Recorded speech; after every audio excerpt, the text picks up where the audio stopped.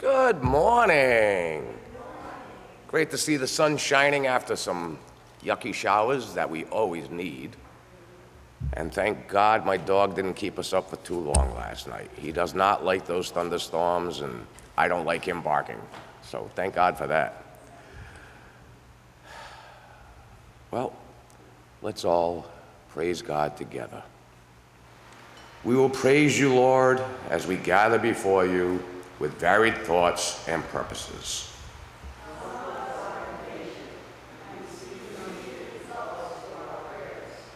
Some of us are doubtful, and we seek further proof of your spiritual power.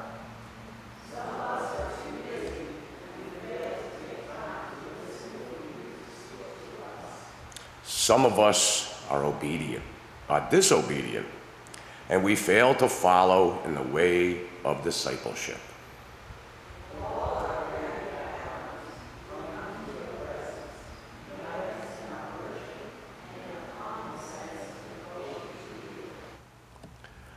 Please join us in the hymn of adoration. I know not what God's wonder I know not why God's wondrous grace. Hymn number 295.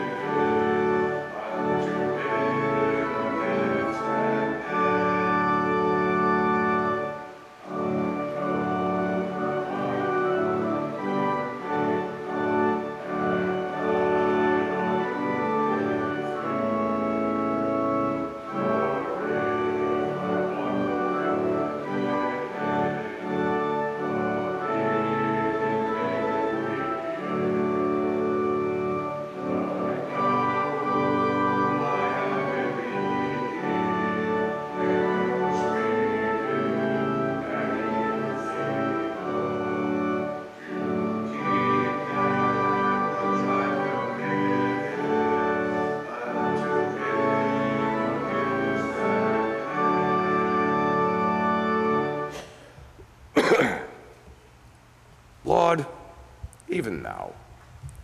Despite all interpretation and study, we are so like the disciples of old, unable to contain the fulfillment of the gospel truth. May the Spirit regenerate a new vitality so that we might be living stories of Jesus Christ, unique but united before the world to proclaim good news, the existence of the living Christ. He was sent to save us all and who taught us to pray, say, Our Father, who art in heaven, hallowed be thy name. Thy kingdom come, thy will be done, on earth as it is in heaven. Give us this day our daily bread, and forgive us our debts, as we forgive our debtors. And lead us not into temptation, but deliver us from evil. For thine is the kingdom, and the power and the glory forever. Amen. Our psalm for today is Psalm 105, verses 1 through 5. Oh, give thanks to the Lord, call on his name. Sing to him, sing praises to him, tell of all his wonderful works.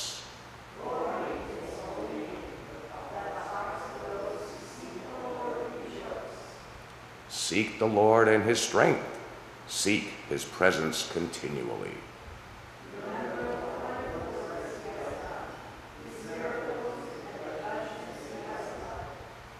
At this time, let us all greet each other on this beautiful morning.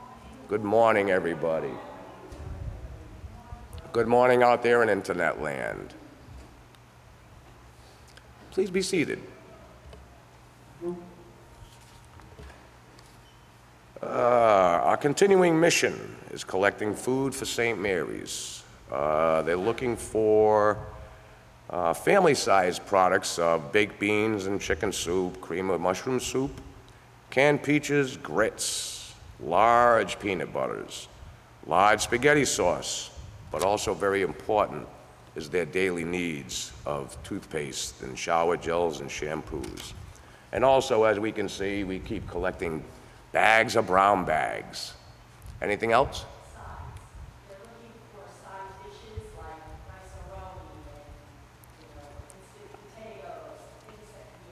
So side dishes, instant potatoes, rices, things like that. Rice-A-Roni, box products that cook fairly easily. Yeah, that's a good idea.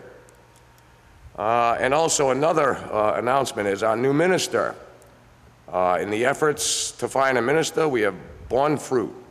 Starting on Sunday, the 27th, uh, Reverend Deborah Lee will begin serving us uh, as she will with the First Baptist Church in Swansea and us.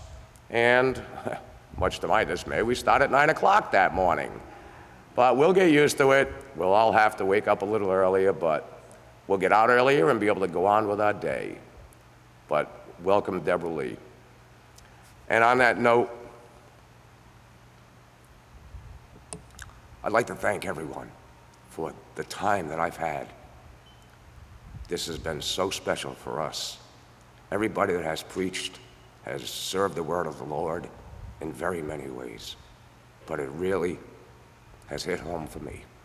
Makes me feel very special. Thank you for everybody and the word you claim. And as the last note, uh, after church, Jeff would like to just speak with us all for a couple of minutes um, about some things uh, that we need to talk about with some BBS um, stuff. And also the church. I mean, it's all people, we're all involved in the decisions that have to be made here. So if, if everybody can just stick around for five minutes so Jeff can give us a quick spiel about what we're gonna, uh, what we're up against over the next couple of months. Is there any other announcements?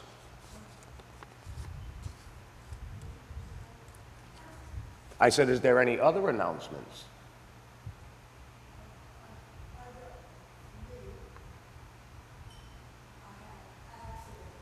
You had an accident?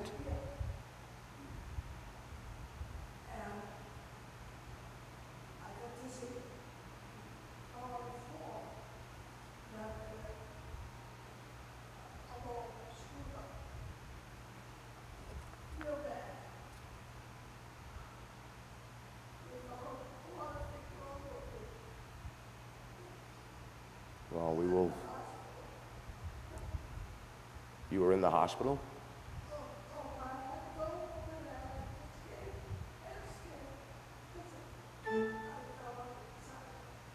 Ooh.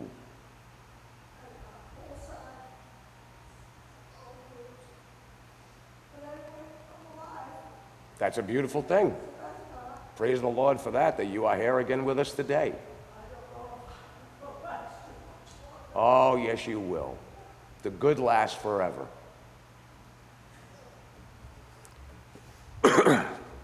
Is there any other announcements that we need to cover today?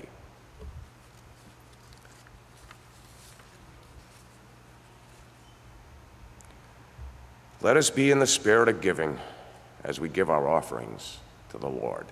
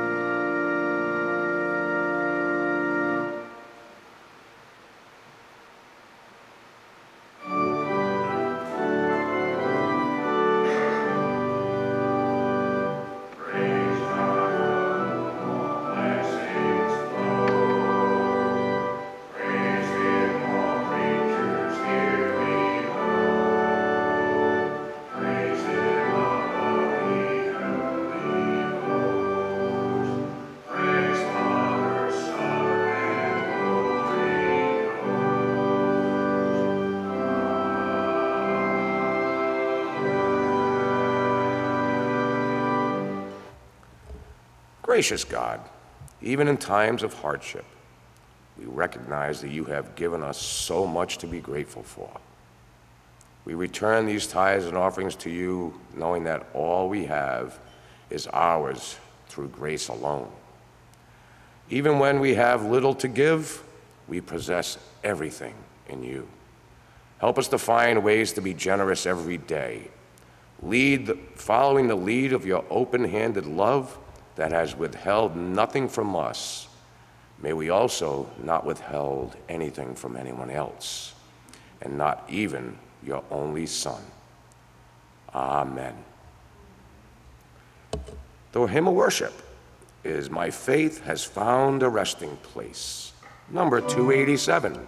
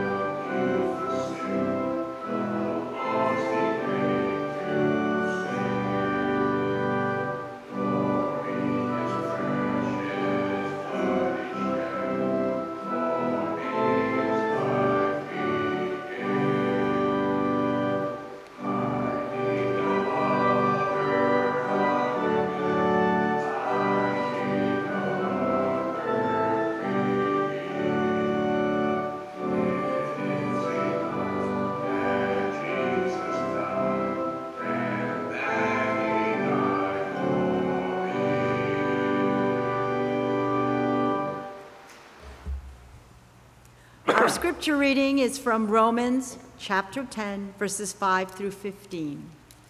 Salvation is for all. Moses writes concerning the righteousness that comes from the law that the person who does these things will live by them.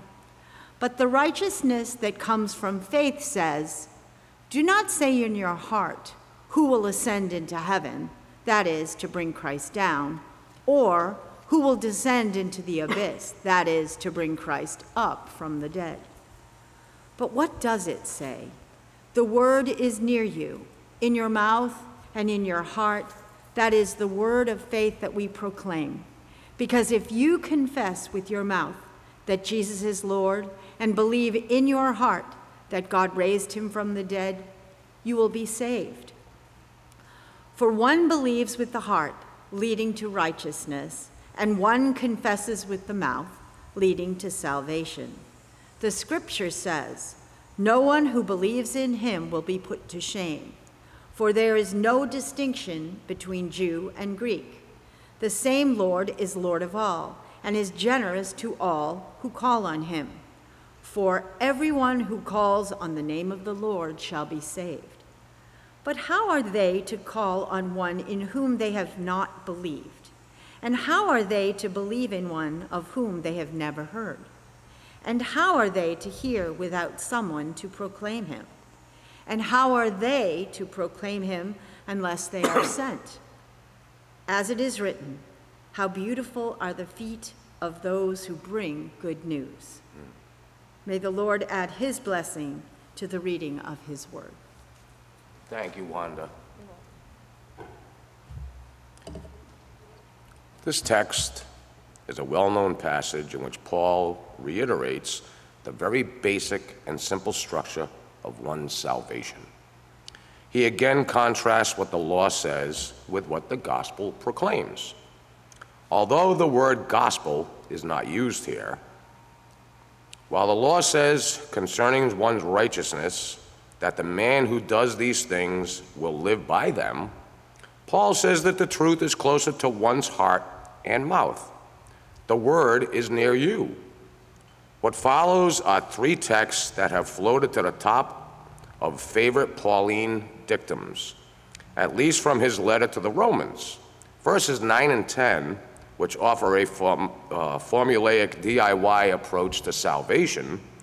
Verse 13, which declares that no one who calls on the Lord will be turned away. And then verse 14 and 15, which affirm the importance of preachers to bring the good news to those who call and believe, even lay preachers. Now let's ponder on this scripture as we enter into a time of silent meditation.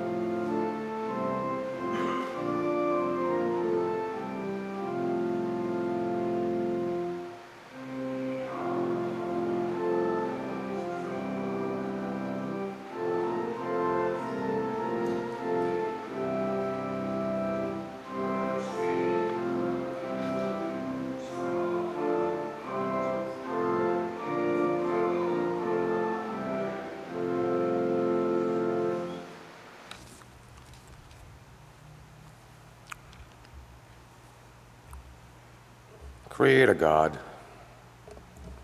the whole universe proclaims your glory. From pebble to star, all that you have made testifies to your power and ingenuity. In a wonder as great as in any creation, you gave to us a share of your inventive powers, allowing us to recreate the world around us. It is an awesome thing that you have given us. This creativity and imagination, so like your own. But we confess, too seldom do we lift our heads from the daily grind to see what wonders you have made, let alone envision what you what we could be doing with the abilities and resources you have granted us. Inspire us with your Holy Spirit that we may rise up out of the old ruts to glorify you with new songs, new stories, new paintings and sculptures, new inventions and medicines, and new technologies new ways of doing business and practicing law or laying carpet. Inspire us with your sacred imagination that in whatever situation we find ourselves in, we may fully live and stretch our abilities until we become the very people you envisioned with our first breath. Lord, we raise before you the special needs of the shut in members of our families and our fellowship and our community. Stand close beside the, them amid all unique challenges and frustrations with which they must cope with from month to month, year to year. God, please hold us our prayers and help with all of our troubles as time goes by, but also the salvation of the beauties of our lives and the glorious things that do happen in them. And God, please pray for Deb. Help her through this time. Help her to get healthy. And for Fran, she suffers as the day goes.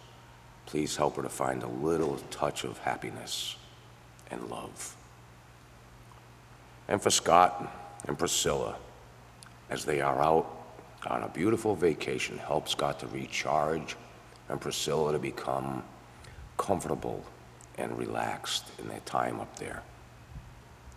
And I'd like to reach out to my two beautiful new nieces who were born a little bit early.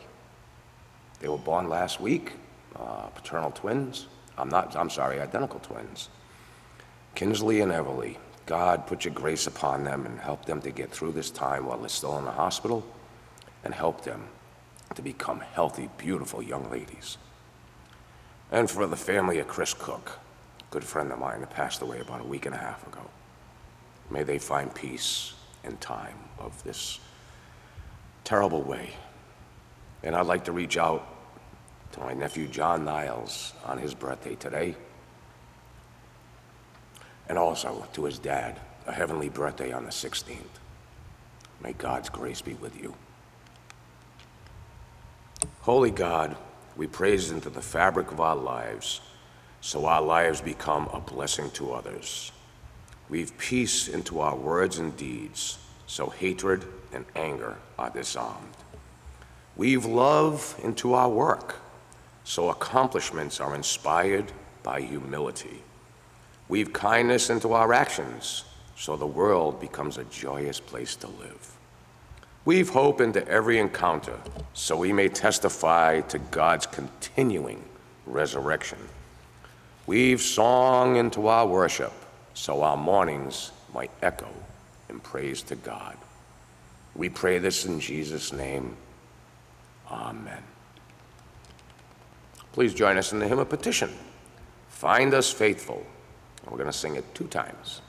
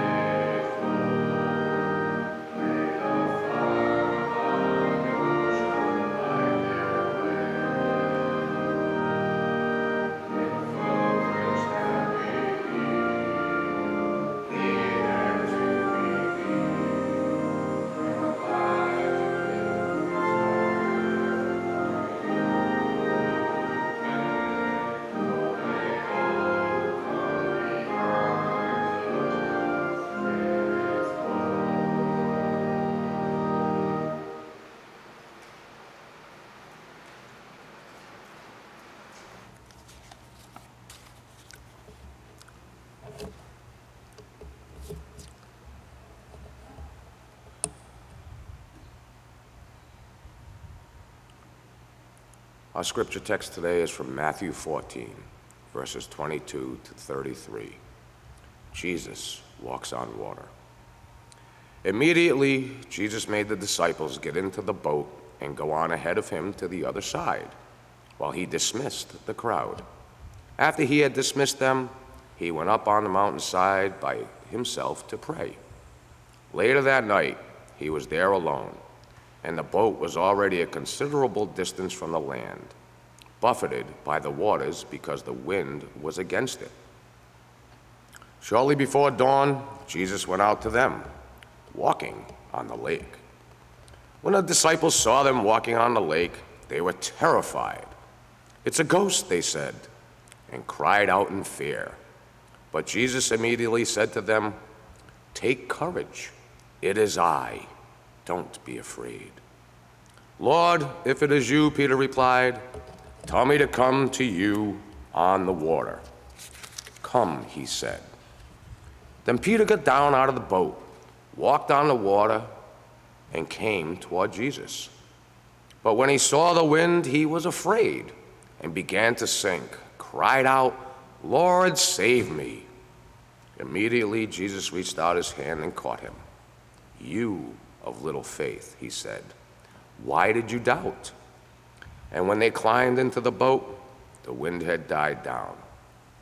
Then those who were in the boat worshiped him, saying, Truly, you are the Son of God.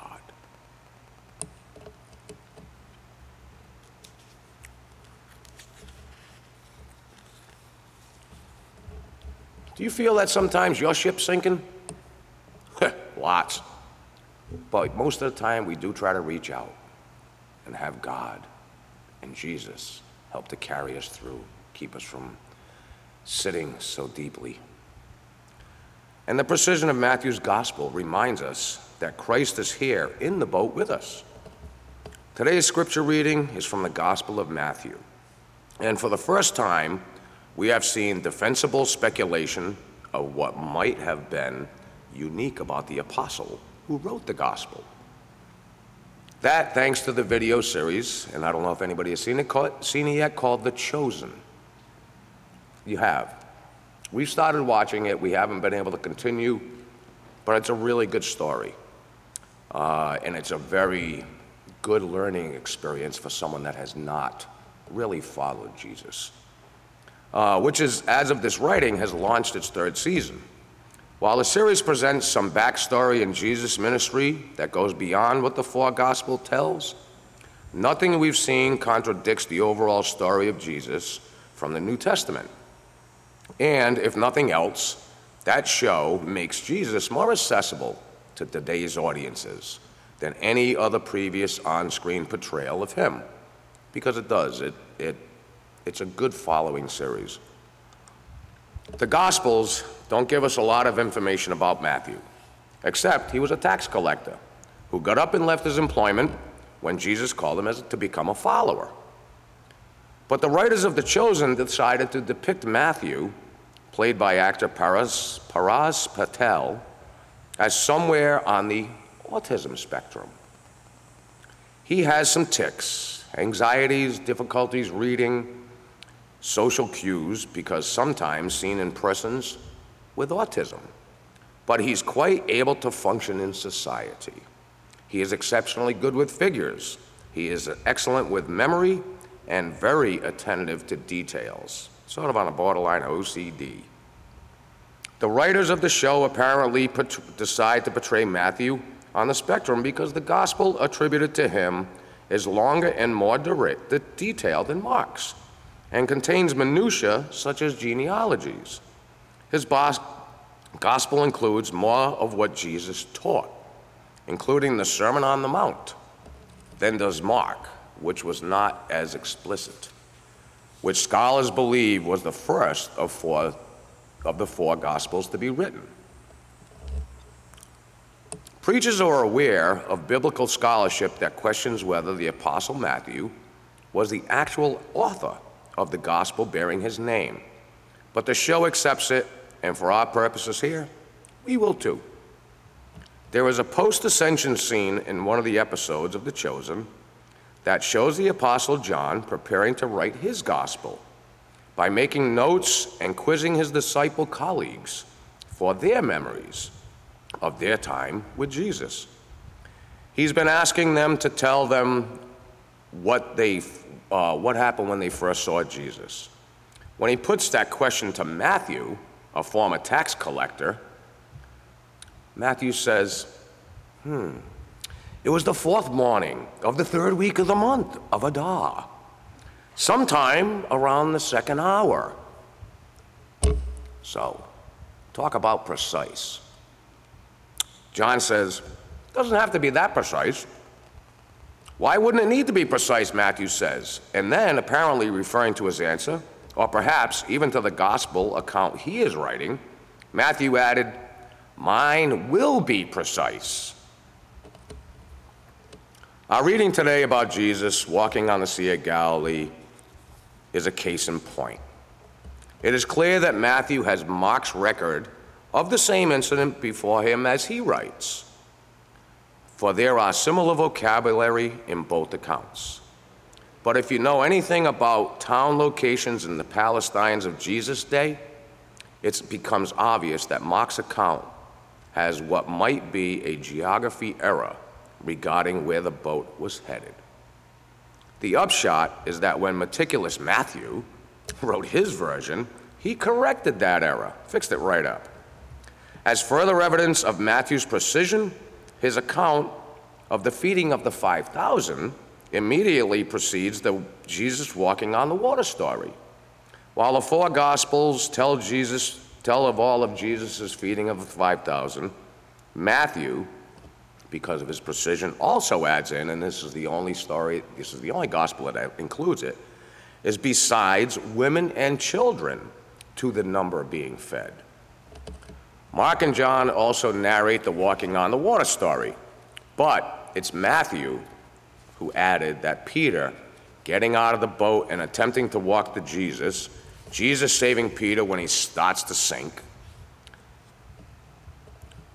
In addition to this account, Matthew moves it from a wow, Jesus can walk on water amazement, to a story about faith and trust. And only Matthew includes the statement that the waves were battering the boat. That's a clue that there is a deeper story behind the surface one. One of the most common symbols of early church was a boat or ships on the water, and often pictured not on calm water, but on rough seas. In fact, the word nave, which architecturally refers to the main portion of a church's sanctuary, comes from the Latin word navis, which means ship. So we're all in a ship, which sometimes is on smooth waters, sailing well, but other times our ship does have its rougher seas. As people facing persecution because they were part of the church, Matthew readers understood that their ship, the church, was being battered quite severely. In fact, the original Greek reads that the boat was being tortured by the waves. It can be pretty rough out there. After Peter, after Jesus and Peter get back into the boat, the wind ceases. Matthew says that the disciples worshiped Jesus and said to them, to him, Truly you are the Son of God. That reaction, however, isn't, is quite different from Mark and John's reports. In Mark, far from declaring Jesus' divine identity, and worshiping him, the disciples are described as being astounded and having their hearts hardened, which probably meant their understanding of the meaning of what they had just witnessed. Jesus walking on water was blocked. John's version merely says that they reached the land toward which they were, had been aiming. So, even though they were all there, everybody sees things through different ways. As we read the gospel overall, it's uncertain that the disciples recognized Jesus' identity as the uh, Messiah this early. So it's possible that Matthew, in reporting the disciples worshiping Jesus as the Son of God, was drawing something that happened later back into this earlier incident. It is a meticulous Matthew with the 2020 clarity of hindsight is saying to his readers that Jesus is the Son of God is what should be realized after seeing him walk on water. And so that is how I am narrating, na- narrating the story now. In doing so, he turns the inc- incident from simply a slice of Jesus' biography into a story meant to encourage persecuted Christians to cling to Jesus as Lord despite the hardships they are facing. That does not make Matthew a bad historian. It makes him a good preacher. For his purpose in writing was not to be a biographer of Jesus or a historian of Christianity, but an evangelist for Jesus and the gospel. But since Matthew had given us a fuller account, let's look at these two who walked on water early, in the mo- early that morning. Here were, two dis- were the disciples, out to sea in more ways than one, sort of like up the creek without a paddle. With the wind blowing against them and waves battering the boat. At this point, Matthew says nothing about them being afraid. In fact, some of them at least were a seasoned fishermen, and being out on rough waters was very normal to them. It was sort of par for the course, their daily way. As long as they stayed in the boat and worked together with the sails and the rudder and the oars, they had a reasonable chance of coming through the storm without too much damage. They used all their tools to get to where they needed to be. What scares the wits out of them is seeing somebody walk on water. I would say so. And their first thought is that they were seeing a ghost. Whoa. But then Jesus spoke to them Take heart, it is I. Do not be afraid. All three of the gospel writers who record this incident agree on this point. What Jesus said is translated into English as, It is I. In the Greek, however, what Jesus said was ego, eimi, which is I am. So what he said was, Take heart. I am. Do not be afraid. I am is the name God gave himself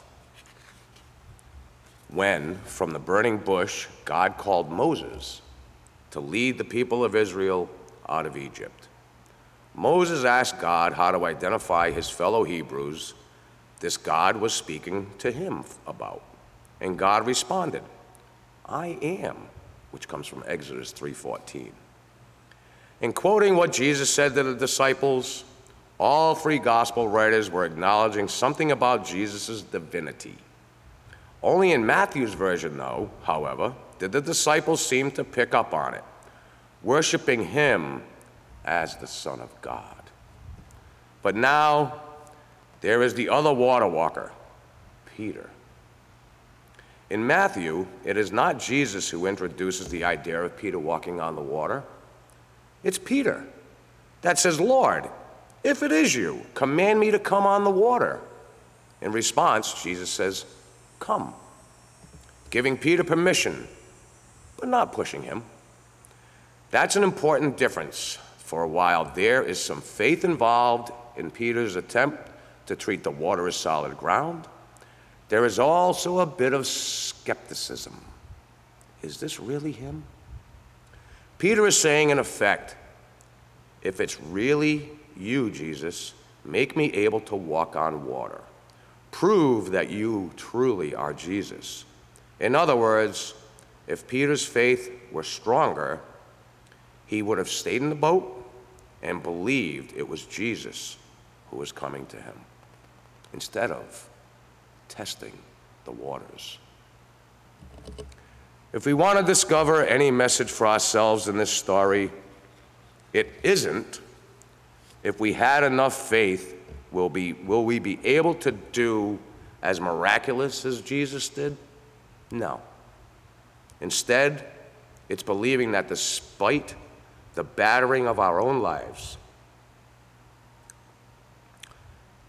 take and how much deep water we find ourselves in, Christ comes to us in our daily lives as we live as part of a worshiping community like our family here.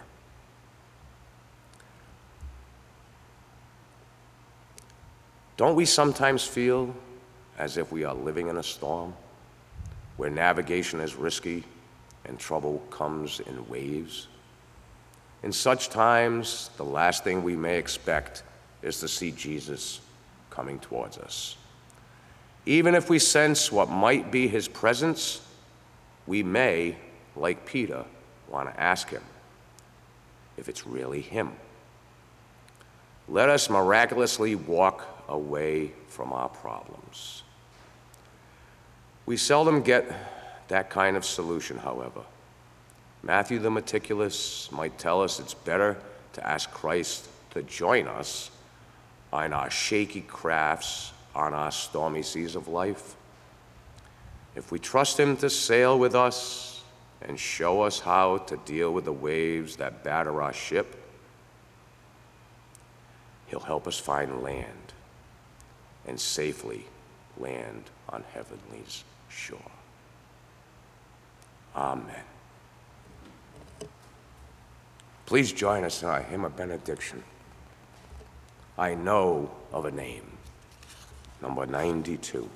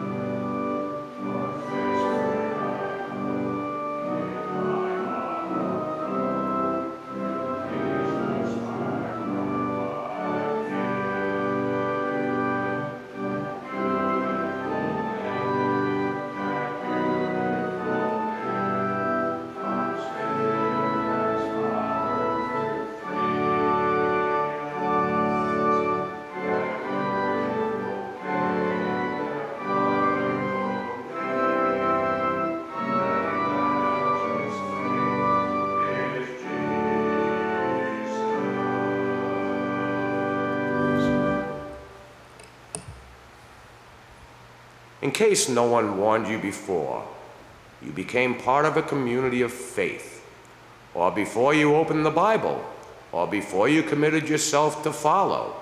The path of discipleship is not always easy. Jesus' demands often confuse and disturb our normal ways of doing things.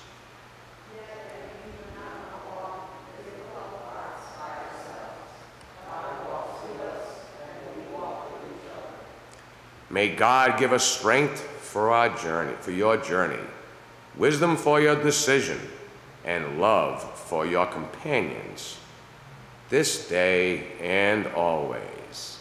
Amen.